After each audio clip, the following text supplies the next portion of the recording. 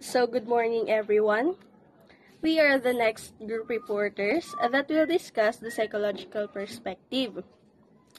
But before we proceed to our topic, let me first introduce our group reporters, or I mean our group members. They are Josia Acuna, John Angelo Balbin, Erica May Kramen, Jake Divara, and Mardel Joy Villanueva. And I will be going to start to discuss our topic. So, the psychology of the self focuses on the representation of an individual based on her experiences. These experiences are either from home, school, and other groups, organizations, or affiliations he or she engaged in. Seemingly, the self is one of the most heavily researched areas in social and personal psychology, where the concepts are introduced that beyond our physical attributes lies our psychological identity. And from our current times, the concept of the self is always interesting subject for the other because it centers the intrapersonal properties. So, the first discussion was about the self as a cognitive construction. So, when we say cognitive, it includes thinking, knowing, remembering, and judging.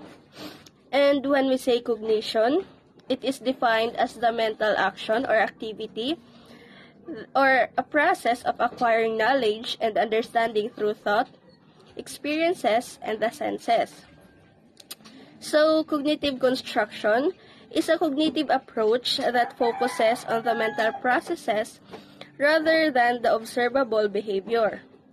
This approach will assist individuals in assimilating new information through their existing knowledge and will enable to make the appropriate modification to their existing intellectual framework to accommodate their new information. So this means that this approach is focusing on critical thinking because through this approach, it will help a person on how he will be connecting their information that that they have that they previously got into their ideas that they have already in their own. It does not focuses on observing things physically, like they didn't believe in the saying of what you see is what to believe, and we all know what does this means. So let's proceed to the next topic, which is The Me as the Self and I by William James. So, William James suggested that the total self of me, being as it were duplex, and it is composed of partly object and partly subject. He differentiated the meaning of the self as me and I. And the word I is defined as the knower, and the word me was the self as known. Also, the word I is referred to the pure ego and suggested that this component is consciously itself, while the, the word me is one of the many things that I may be conscious of and it is composed of three components. So you should remember these three components. These are the physical or material self, uh, and it consists of the things that belongs to us. Things like the clothes, the money, and even our body is considered as material self. Social self is about our social selves of he, of who we are in a given social situation. And the third one is the spiritual self, where it is the most intimate, intimate self. The aspects of spiritual self includes the personality, the core values, and conscience that does not typically change throughout the lifetime. So let's proceed to the next reporter. Good day everyone. So before I start my discussion, I will introduce first myself. My name is Jake Amante Devara. So the topic that is assigned for me is global versus differentiated models. In module 1D, which is the psychological perspective. So I will define first the global model self and differentiated model self. When we say global model self, it refers to the general value that a person places on himself or herself. Uh, ito ay tumutukoy sa pangkalahatang halaga na inilalagay ng isang tao sa kanyang sarili. This self-concept sits at the top of the hierarchical tree, which then breaks into a number of smaller components such as academic, social, emotional, and physical self-concepts. The number and type of these components varies from one theory to another. According to Shavelson, Hubner, and Stanton, they said that the global model self refers to extent to one's perceptions of the self is clearly and consistently defined. So while differentiated model self, it refers to your ability to separate your own feelings and thoughts from others. Uh, ito naman ay tumutukoy sa iyong kakayahang paghiwalayin ang iyong sarili, damdamin at iniisip mula sa iba. It also involves being able to possess and identify your own thoughts and feelings and distinguishing them from others. It's a process of not losing connection to self while holding a deep connection to others, including those you love, whose views may differ from yours. And there are 10 differentiated model self, which are the self consciousness, self multiple, self looking glass, self structure, self as a flower, self as a creative self as union, self as identity, self as unicorn, and self as chameleon. So the first one is the self consciousness. Self consciousness is the heightened of self awareness. The second one is self multiple. This is someone's rule is not being her or him, her, his or her responsibility and sense of self.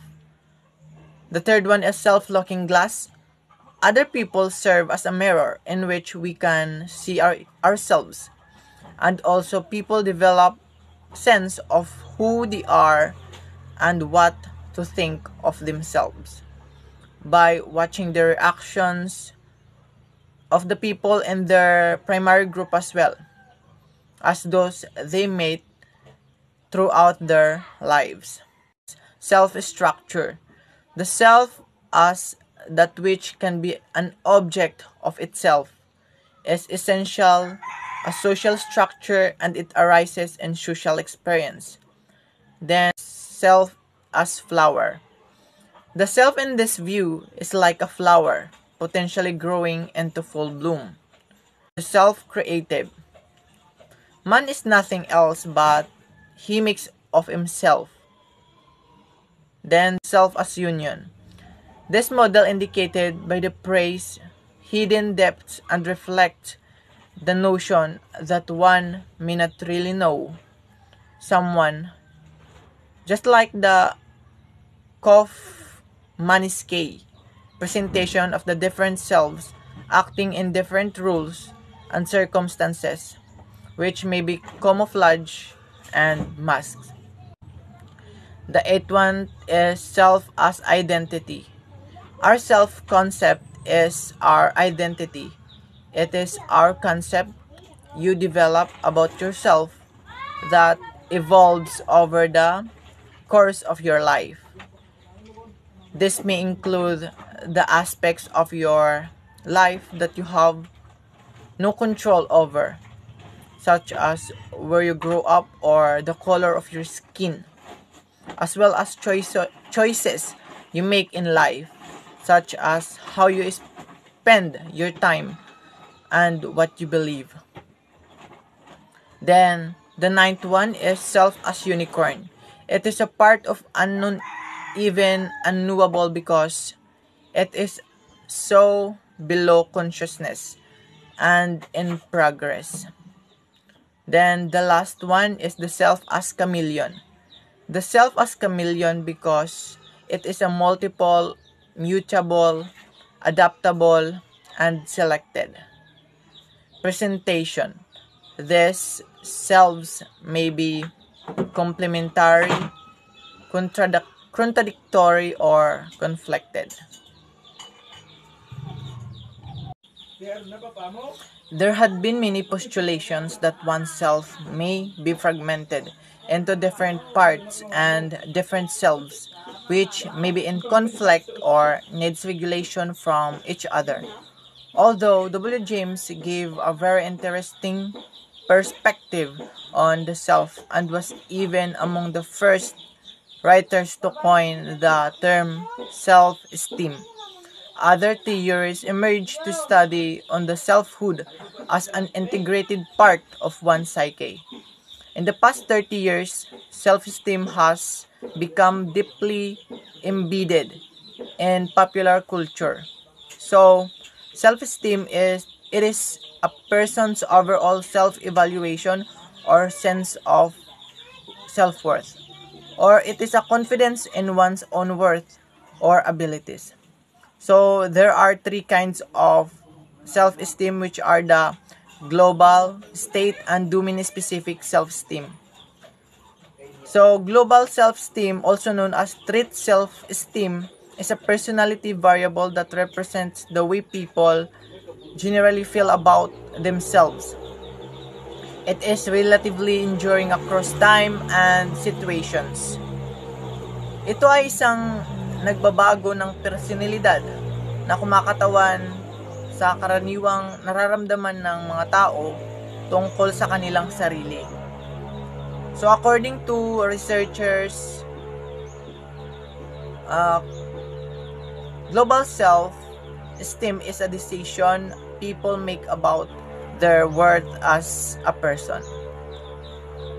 It can be so it can be high but rather low in a specific situation or in relation to a specific activity. For example, you may have a high overall self-esteem and have a positive view of yourself as a what talent you have, and yet have low self-esteem but communicating in a second language. State self-esteem, also known as feelings of self-worth, refers to a temporary feelings or momentary emotional reactions to positive and negative events where we feel good or bad about ourselves during these situations or experiences. Ito naman ay tumutukoy sa mga pansamantalang damdamin o panandaliang emosyonal na reaksyon sa mga positibo at negatibong pangyayari kung saan maganda o masama ang pakiramdam natin sa ating mga sarili. Sa mga sitwasyon o karanasang ito. So according to Harten, Harterton and Polyvey, 1991, that self-esteem state is how we feel about our evaluate ourselves at a given point in a time It is defined as the temporary fluctu fluctuations in self-esteem. For example, in assertive in expressing your needs and opinions, and confident in your ability to make decisions. So the last is the domain-specific self-esteem, also known as self-evaluations. It is focused on how people evaluate their various abilities and attributes This is making distinctions or differentiation on how good or bad people are in specific physical attributes abilities, and personal characteristics. Ito naman ay nakatuon sa kung paano sinusuri ng mga tao ang kanilang iba't ibang kakayahan at katangian. Uh, ito ay paggawa ng mga pagkakaiba sa kung gaano kabuti o masama ang mga tao sa mga partikular na pisikal na katangian at kakayahan. So, domain-specific self-esteem has a weaker relationship with overall psychological well-being because of its emphasis on a particular dimension, for example, academic, social, and athletic of the self. So, thank you. That's my report. That's all my report. Uh, hi everyone, I'm John Angelo Balbin and I will be discussing about the real and ideal self concepts. The self as the regulating center of an individual's personality adds self as processes under the guise of ID, ego and superego functioning. Racked psychology as the biggest breakthrough in understanding the psychological self. From this milestone, prominent psychologists followed with their own perspectives of the self to contest the roles and functions of ego as the self these were the landmarks of contemporary psychology in the understanding of the internal processes of men. A group of psychologists called for renewed attention for inner experience, internal processes, and self constructs. These pers perspectives assert the overall dignity and worth of human beings and their capacity for self realization. One of the psychologists named Karen Horney, with her feminine psychology, established that a person has an ideal self, act actual self, and the real self. She believed that everyone experiences basic anxiety through which we experience conflict and strive to cope and employ tension reduction approaches. Horney believed people develop a number of strategies to cope with basic anxiety. Because people feel inferior, an idea an, an idealized self-image which is an, an imaginary picture of the self as the process of unlimited powers and superlative qualities is developed.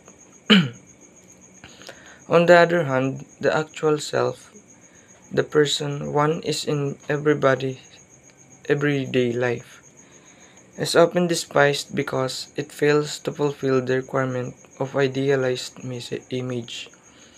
Underlying both the idealized self and the actual self is the real self, which is revealed only as a person begins to shed the various techniques developed to deal with the basic anxiety and to find ways resolving conflicts. The real self is not an entity but a force that impels growth and self realization. And also, one of the psychologists named Carl Rogers, with his person centered theory, established a concept of self involving the real self and ideal self.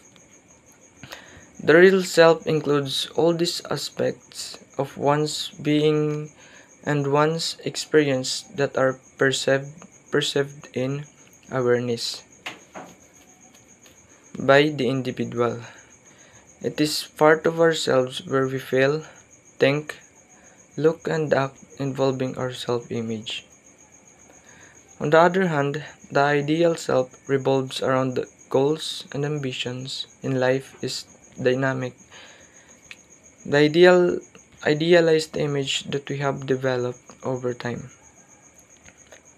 This is what our parents have taught us considering that we admire in others, what society promotes, what we think are in our best interest. A wide gap between the ideal self and the real self indicates incongruence and an unhealthy personality. If the way that I am the real self is aligned with the way that I want to be, which is the ideal self, then I will feel a sense of mental well being or peace of mind.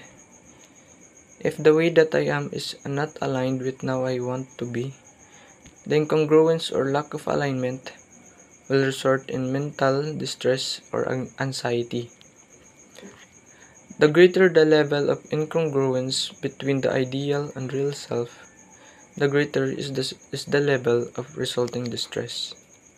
That's all. So in this topic, we will tackle about the multiple versus unified selves. Postmodern psychology contends that a man has identity that shifts and morphs in different social situations and in response to different stimuli. As Kenneth Gergen argues that having a flexible sense of self in different contexts is more socially adaptable than force oneself to stick to one self concept. Theorists believe that there is no answer to the question who am I as one person can undergo several transitions in his life and create multiple versions of himself.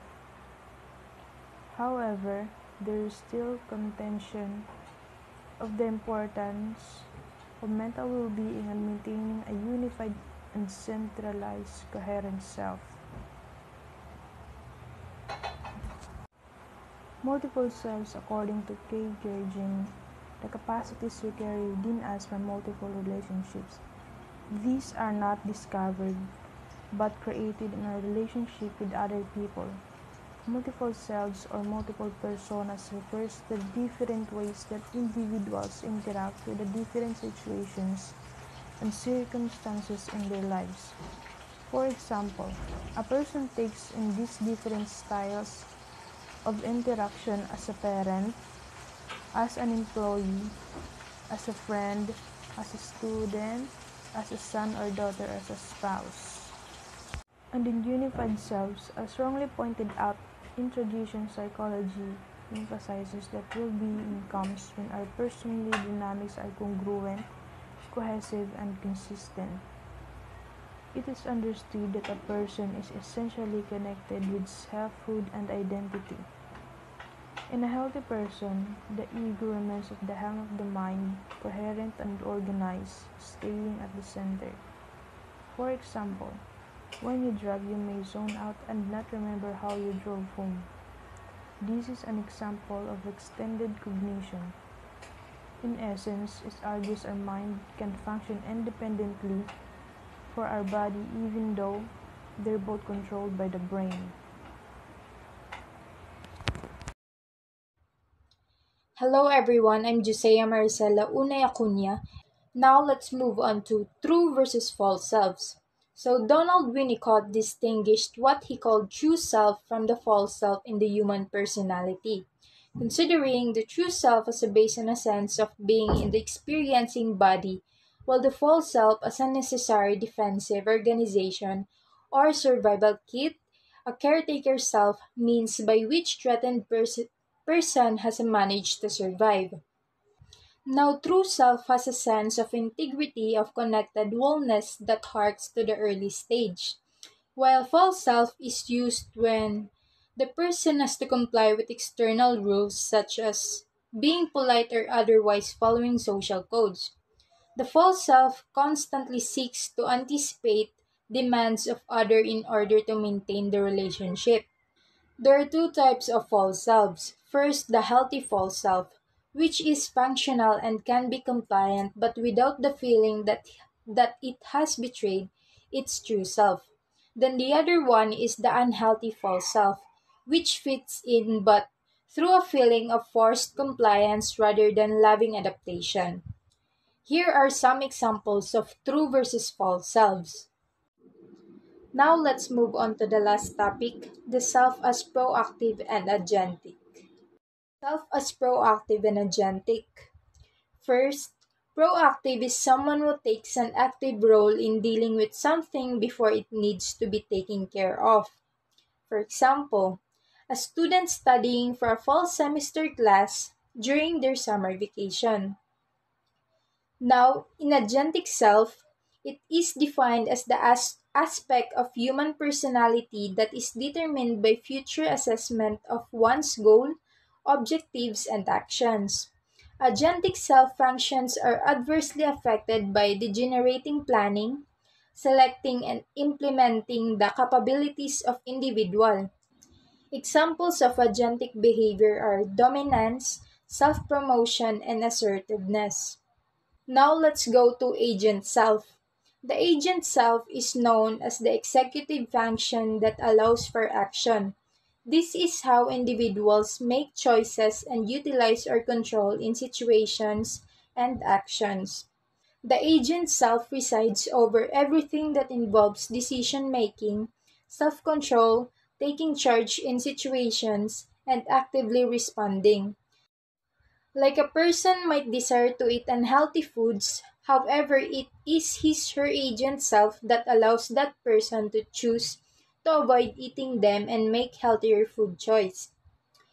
Human agency is not a thing but an active process of exploring, manipulating, and influencing the environment in order to attain desired outcomes. Now let's move on to self efficacy. Self efficacy lies in the center of Bandura's social cognitive theory. It is the measure of one's ability to complete goals.